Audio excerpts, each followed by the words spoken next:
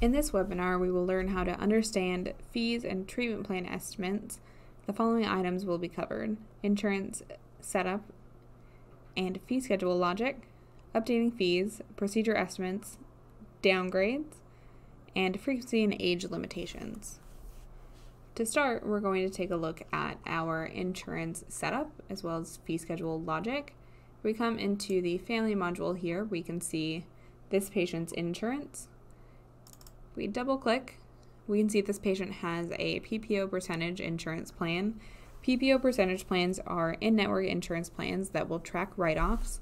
We also have additional options for category percentage. A category percentage plan is generally going to be an out of network insurance plan and there will be no write offs tracked. For a PPO percentage plan, we will want to include our fee schedule for the allowed fees for this insurance in the top box here, just right next to fee schedule. If this were in fact a category percentage plan and we did have the allowed fee schedule, we would make sure to select none here. And down towards the bottom, we would select our carrier allowed carrier allowed amount right below under the other fee schedules. If the fee schedule is selected here, this will charge out just the lower allowed fee rather than the office fee, so this is not what we would want to do for an out-of-network plan. In this case, we'll mark this back to PPO percentage, check our delta fee schedule, and move this carrier allowed amount at the bottom down to none. If your patient does have copays for procedure, this can also be selected right here under other fee schedules and that will be accounted for in any insurance estimates. There are also additional insurance plans which can be set up in Open Dental, including Medicaid, HMO, and DMO plans, as well as PPO fixed benefit plans. In this webinar, we'll mostly be talking about PPO percentage and category percentage plans, as those are the most common. If we go back to our treatment plan module, up at the top we have a button that says Update Fees. This button will allow you to update the fees on just one particular patient's active or inactive treatment plans if fees have been updated in the fee schedule itself. When updating fees in the fee schedule, the treatment plan procedures that were already existing will not be affected. However, you can use the update fees tool here to update fees just on a single patient and if you go into list procedure codes and fee tools, there is also a global update tool which will allow you to update the fees for all active or inactive treatment plans for all patients. That being said, updating fees again will only affect active or inactive plans.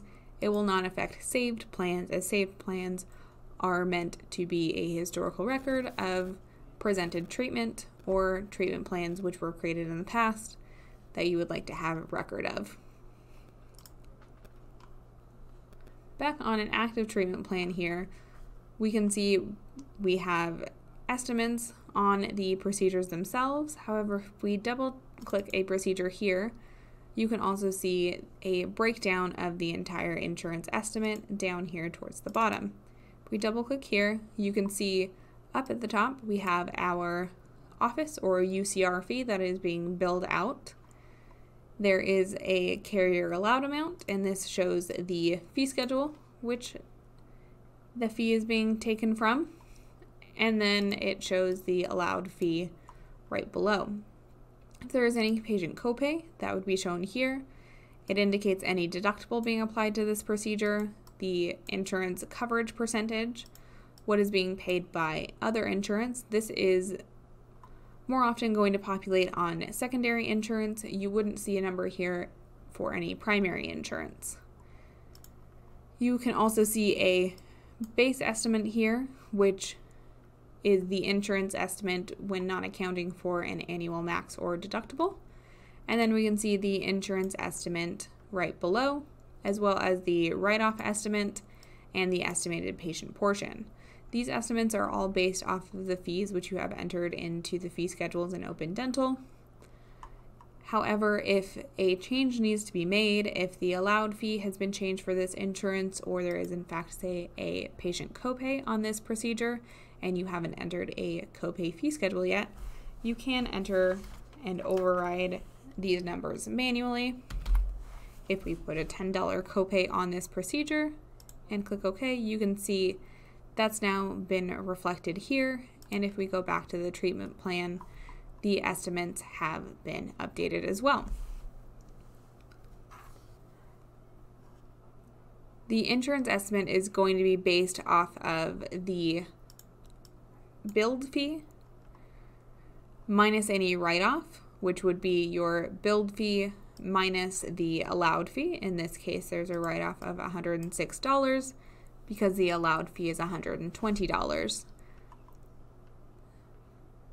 The insurance estimate, when accounting for a deductible or a copay, would be based off of the allowed fee minus any deductible minus any copay. Insurance would cover 80% of that remaining amount, and the remaining 20% would go towards patient portion.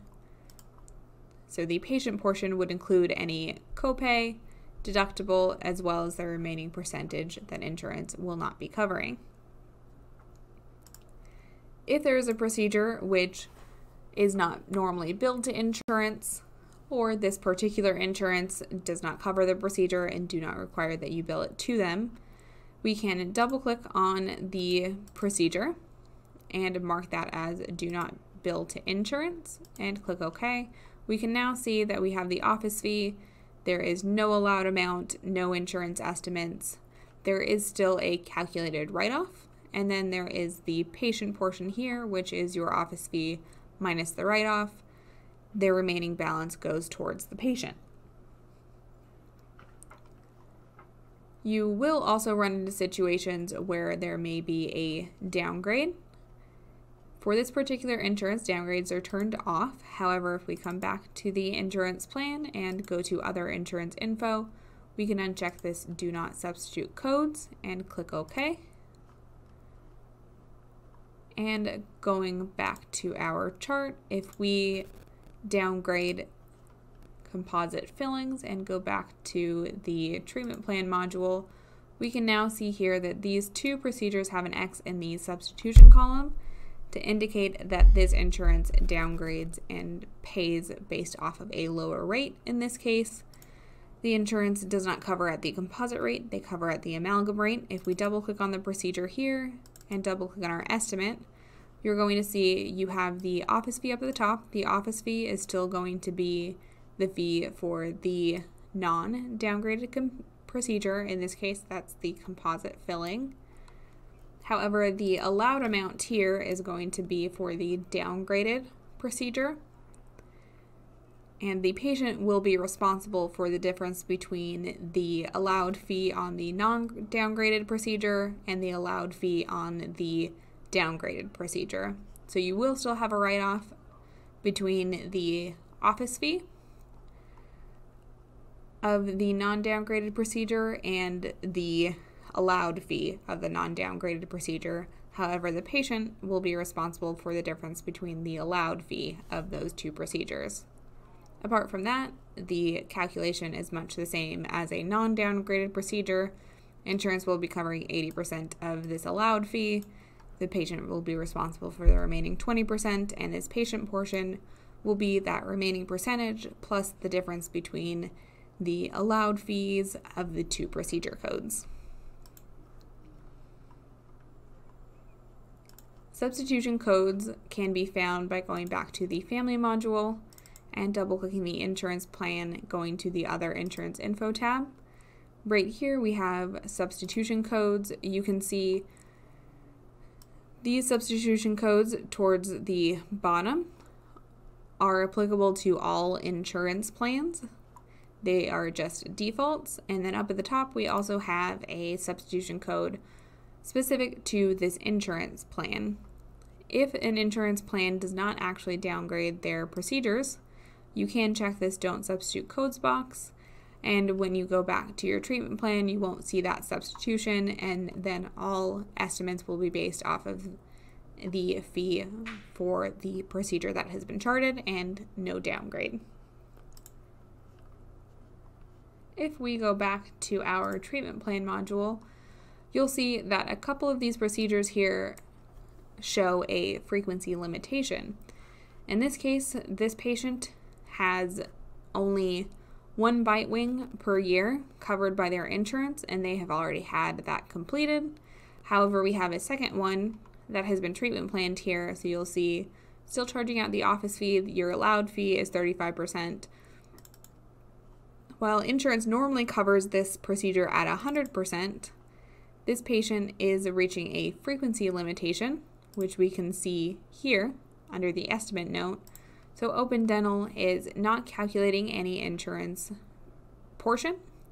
Um, it is still calculating a write-off discount, and the patient is responsible for that entire allowed fee. This would also be the same for any procedures which have an age limitation. If this procedure had an age limitation of 14 and the patient is now 15, you would see an age limitation and something similar would happen where you would see the allowed fee, there would be no insurance portion, there is still a write off discount if applicable, and then the patient is responsible for the remaining balance. And Open Dental will calculate frequency limitations based off how they are put in the insurance plan here. So as we can see, we have our bite wing frequency is once every year. In this case, the patient has already had a bite wing, which is why we're seeing this bite wing limitation.